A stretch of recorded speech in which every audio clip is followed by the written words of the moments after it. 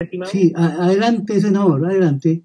¿Cómo le va? Muy buenos días. Oiga, eh, Sí. una, una alegría estar en contacto con Radio Oceanía. Me encuentro en este momento físicamente en la comuna de Laja porque tengo una agenda territorial en la comuna acá. Sin embargo, eh, a través de esta conversación vamos a conversar de un caso de la comuna de Hualpén.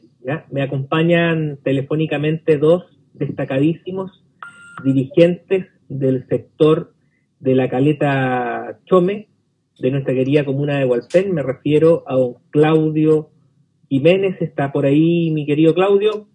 Sí, acá presente, buenos días.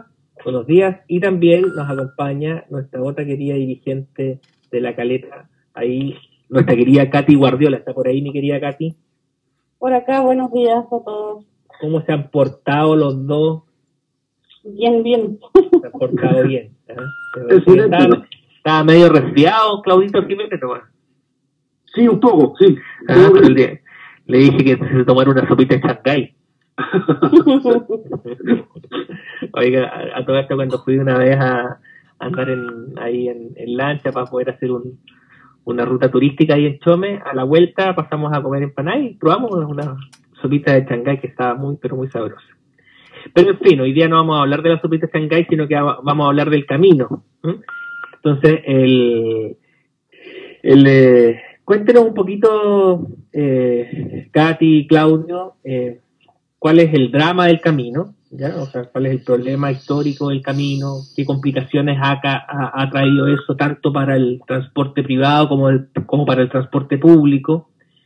Eh, y después cuente un poquito, digamos, lo que eh, pudimos hacer para poder formular un proyecto, o sea, no yo, pero a través del municipio de Hualpén, eh, cómo, lo, cómo nos coordinamos para efectos de que se pudiera eh, formular un proyecto, presentar al gobierno regional, eh, aprobar por el Consejo Regional, eh, que se firmara posteriormente el convenio de transferencia, que se transfirieran los recursos y finalmente se estuviera ejecutando este proyecto. Coméntenos un poquito ahí, no sé si Claudio, o partamos por las damas, ¿ah? por Una nuestra dama querida primero, Katy, correcto, sí. Quería que te cuenten un poquito para que los auditores más o menos entiendan en la historia y también la importancia de esto, tanto para los chomecinos eh, como también para el- los vecinos del Gran Concepción que quieren de repente ir a, a turistear ahí a la, a la caleta. ¿eh? Sí, no, primero eh, que todo agradecer por el apoyo que nos ha dado. Eh, estamos súper contentos porque el camino está quedando bien. Eh, sí nos topamos con el tema de que las ramas que van por el borde no se pueden cortar por, por, por normativa, no, no, ahí no tengo muy claro el, el problema que tiene la empresa que está trabajando y, y que se hizo una reunión en la caleta para pedir la opinión de todos los vecinos y todos concordamos en que mm, se debería cortar porque viene un vehículo de un lado y el otro viene del lado contrario, la, la rama tapa toda el- la visual. Entonces con el camino todo bien, pero el tema de las ramas, eh, ah, no, ahí estamos súper mal. Entonces eh, la gente debería pensar un poquito porque no, a nosotros nos afecta directamente. Perfecto. Cuéntenos un poquito, Katy, para contextualizar a los auditores, eh, digamos, cuál es el estado histórico del camino y qué consecuencias eh, eh, generaba eso para los vecinos de Chocó. No, el camino estaba en súper malas condiciones, a pésimas. Eh, lo que era lo- la locomoción que, que llega a Chome, que, que logramos obtener eh, dos, dos veces en la semana, quedaba a medio camino. Eh, el furgón de los niños no podía salir del, de Chome porque el camino estaba tan, tan malo que no era imposible imposible salir, o sea, se peleó harto para lograr eh, este proyecto, que al final lo conseguimos y ahora se está arreglando el camino, eh, está quedando eh, espectacular. O sea, estamos recibiendo harta visita de los turistas y, y la misma gente de, de Chome eh, puede salir súper bien ahora, no, no hay problema en eso. Lo que estamos chocando es con el tema de, la, de las ramas por los lados. tenía consecuencias para la locomoción colectiva, igual nosotros logramos sacar adelante igual un, un- un- una, digamos, un servicio de, de- de locomoción colectiva para Chole, pero estaba teniendo algunas dificultades ahí el, el dueño de la micro, ¿no? Sí, sí.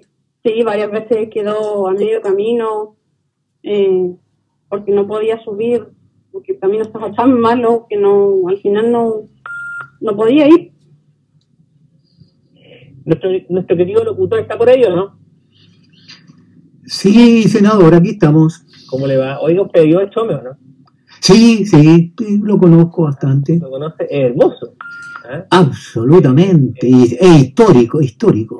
histórico, es hermoso, además la gente es muy eh, cariñosa, además se- normalmente también se come muy bien, ahí los, los, los chomecinos tienen algunos puestos para poder vender empanadas y también eh, algunos platos con el eh, con el shanghai, que, que es el, el, el cangrejo típico y exclusivo de la zona, digamos. ¿no? Sí, senador, eso que usted probó. Y me dieron deseo de ir a, a, a Chome a comer un platito de Shanghái. Sí, Yo, yo aprovecho de promover la localidad de Chome porque es, un- es una localidad hermosa. Tiene dificultades en el acceso porque la verdad que era un, un, un- un suplicio ir a, a Chome en, en términos de que el estado del camino era realmente malo, digamos. Pero como indica Katy y Claudio, hoy día se están realizando trabajos que esperamos queden terminados en el mes de diciembre eh, y que eh, impliquen que ya eh, el acceso a esta caleta de la comuna de Hualpén sea mucho más, eh, digamos, esté en mucho mejores condiciones. Ahora tenemos que ver de qué manera sorteamos el asunto de las ramas que están generando este problema que indicaba Katy. Entiendo yo, porque algo de eso nos había anticipado Vialidad, de que hay algunas dificultades en términos de que eh, estamos en el contexto de una reserva natural, por lo tanto no es llegar y, y cortar las ramas, hay que pedir ciertas autorizaciones. No, no recuerdo bien Claro. eh, cuál es el camino para poder cumplir con el objetivo eh, dentro de lo que la normativa medioambiental faculta, pero me parece que debe ser objeto de una conversación un poquito más profunda con eh, la Dirección Regional de Vialidad, por lo cual eh, mi querida Katy y mi estimado Claudio vamos a eh, gestionar una, una videoconferencia, una reunión con el director regional de Vialidad y no sé si es que eventualmente después eh, fuere necesario un segundo tiempo con eh, con el- la Ceremi de, de Medio Ambiente, dependiendo de, la- de, las- de las cosas que, que lleguemos. Estaba mirando acá el historial, nosotros logramos el certificado de aprobación presupuestaria de los cerca de 855 millones de pesos. Eso fue el- la inversión aprobada por el Consejo Regional en junio del año pasado para eh, que se pudieran hacer las mejoras de esta segunda etapa del camino, porque la primera etapa del camino ya se mejoró hace un tiempo atrás a través de la pavimentación, ¿cierto? Claro, en ENAP. En ENAP, que es justo hasta un poquito antes del, de la, del, del cruce, Sí. pero del cruce hasta la caleta, eh, el, el- el- el camino estaba, digamos, en deplorables condiciones y lo sabrán quienes han eh, ido a visitar la caleta. Así que estamos muy contentos de que finalmente esta inversión no solamente se haya financiado, sino ya esté en un notable eh, estado de, de, de avance. ¿Mm? Senador, discúlpeme, la otra vez cuando tuvimos una reunión ahí con el, con el gobernador, a, a la entrada de desembocadura estaba el alcalde que actualmente el que está ahora, el de Palpén, Sí. se quedó de que Miguel Rivera. Miguel Rivera, don Miguel Rivera, cuando se quedó y que desde este proyecto que está que se está ejecutando ahora, el ripiado, después iba a buscarse otro proyecto para el asfaltado, pero yo no sé en qué quedaría eso, el que va o se está haciéndose algo. Lo que podemos, lo, que- lo que podemos hacer, eh, estimado Claudio eh, y estimada Katy, es que cuando tengamos eh, la conversación con la Dirección Regional de Vialidad, de Vialidad eh, por el, eh, digamos, eh, por el tema de, las de las ramas, ¿ya? Eh, pudiésemos eh, reponer este asunto, así como se hizo un mejoramiento del camino en Ripio, ¿ya? Me da la impresión de que eventualmente pudiera seguirse un camino parecido para poder lograr un asfaltado, asfaltado básico si es que efectivamente la normativa medioambiental y todo ese tipo de, reglas lo, lo, facultan, digamos. Yo me imagino que sí, y, probablemente si es que el gobernador Rodrigo Díaz lo esbozó es porque eh, el, primer filtro lo, lo, lo, permite. Así que lo que debiéramos hacer, eh, eh, Claudio y Katy, es aprovechar esta conversación que vamos a tener con el director regional de Vialidad, Juan Carlos Oviedo, para colocar ese tema arriba de la mesa y activar un proceso que implicaría un camino parecido al que se activó la vez anterior, digamos, que es que el municipio tiene que hacer una alianza con realidad, eh, eh, digamos, formule el, proyecto, pero el proyecto ingresa eh, finalmente al gobierno regional a través de la vía municipal. Municipal, Así sí, que... así se, aprovecharía igual de, mantener el, arreglo que se, hizo ahora y con un asfaltado quedaría duradero.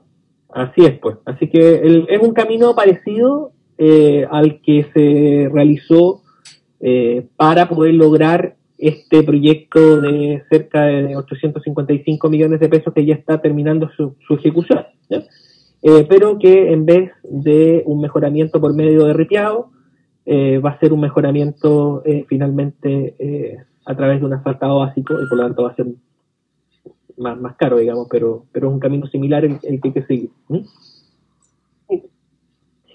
Muy bien, pues yo no sé si nuestro querido amigo de la radio quiere hacer algún, alguna pregunta o algún comentario adicional. Sí, mire, es una, una, no una pregunta, un comentario respecto de la claridad que tienen los dirigentes que usted está conversando con ellos. Recordemos que eh, Lenga tiene un, perdón, eh, eh Chome tiene un potencial turístico histórico, o sea, así que lo que usted ha hecho con esos dirigentes es muy bueno, o sea, se, explayaron, dijeron lo que tenían que decir y clarito, o sea, no hay por dónde perderse sus explicaciones. Nosotros, eh, bueno, yo, yo fui diputado por Chome entre el año 2018 y el 10 de marzo de este año antes no lo había sido y en esos cuatro años logré eh, tomar algunas causas al servicio de los vecinos de Chome que gracias a Dios prosperaron. La primera, que fue el motivo por el cual conocí a Claudio y a los dirigentes de allá, fue el tema de la instalación de una antena celular, ¿eh? Eh, que, fue un, proceso que seguimos y que gracias a Dios finalmente terminó con la instalación de esta antena que le entrega la conectividad que hoy día estamos eh, viviendo en, en Chome, digamos. Ellos están conectados, tenían algunas dificultades porque se había caído la, señal, pero hicimos las vinculaciones hace un par de días con la gerencia de la empresa reactiva y finalmente se, se, recuperó la, señal.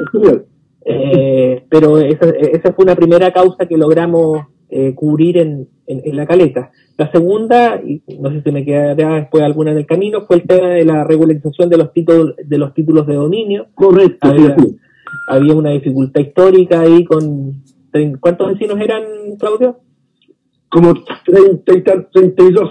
32, 33 vecinos. Sí, eh, claro, de la, de la comuna de, la caleta de Chome, quien tenían un, una maraña normativa ilegal, digamos, que les impedía ser propietarios de sus viviendas y al no ser propietarios de su vivienda tampoco podían postular a proyectos de mejoramiento y de arreglos Así que eh, lo que hicimos ahí fue, eh, eh, en alianza con el municipio, finalmente poder encontrarle el ángulo y traducir eso finalmente en una entrega de los títulos de dominio eh, para estas familias de Chome que tanto anhelaban este hito. Eh, está pendiente eh, el segundo tiempo de eso, Claudio y, y Katy, que es el, el, el, capitalizar ese, ese hito y pasar posteriormente a materializar el subsidio de arreglo de las casas, digamos. ¿no? Pero, pero trabajaremos en eso. Y, y también eh, lo que logramos hacer fue este tema del, del, mejoramiento del camino, que tuvo una primera etapa, que fue el asfaltado desde el, ahí en el sector de la, de la NAP, y hoy día esta segunda etapa eh, en, que va desde el cruce hasta la caleta y que ya está en franco estado de avance y que esperamos pueda estar disponible para utilizarse en, plenitud eh, a partir del mes de noviembre, probablemente más tiradito para fines de noviembre, me imagino yo. ¿Sí? Y, y, doy el subsidio recorrido el bus para acá. También de veras, ah, y, el, y, el, y, eso fue el, eso fue lo otro que también conseguimos, que fue eh, trabajar de la, de la mano con, con la Seremi de Transporte y la ministra de Transporte, eh, Gloria, para efectos de poder finalmente eh, tener disponible una, una micro, un, un, vehículo de locomoción colectiva que pudiera darle eh, conectividad territorial a los vecinos de Chome. Si no me falla la memoria, eh, Katy y Claudio en la ceremonia donde se hizo entrega de esta de, esta, de este servicio, eh, nos acompañó la misma ministra de aquel entonces, Gloria Juro, ¿no? Sí, correcto, sí, fue pues. Nos acompañó la ministra ahí en la, en la caleta en un día despejado y maravilloso como el que hoy día nos acompaña. Así que como se puede dar cuenta, estimado amigo de la radio Oceanía y Sí, sí. estimados auditores, eh, el trabajo en equipo, que esa es la, la clave, el trabajo en equipo con nuestros dirigentes, con los representantes de la Junta de Vecinos, eh, y también, digamos, más allá de las diferencias políticas transversalmente con el municipio de Hualpén, con la anterior administración y con la actual administración, finalmente se ha traducido en lo que los vecinos quieren, ¿eh? autoridades trabajando unidas, junto con nuestros dirigentes, para poder solucionar eh, problemas concretos y sacar adelante eh, proyectos de valor para las comunidades. Senador, muy interesante todo lo que usted ha hecho por, por eso hay que saberlo, hay que decírselo a la gente y estamos cerrando el programa. Eh, los eh, auditores han escuchado al senador Enrique Van Rieselbergue. Señores, hasta la próxima. Muchas gracias. Muchas gracias y Muchas invitar, gracias. invitar a los, muchos saludos a los vecinos de Chome e invitar a, que, a los auditores a que especialmente cuando ya terminemos de arreglar el camino eh, a fines del mes de diciembre, visiten la caleta, ¿ya? ya va a haber un camino en buenas condiciones y puedan eh, gozar de las bellezas, eh, digamos, geográficas y también eh, de eh, la calidad culinaria de los chemecinos al servicio de los vecinos del Gran Concepción. Ahora, Muy bien, senador. ya pues, gracias. Nos vemos en una próxima entrevista. Hasta luego, chao, chao. Chao, chao.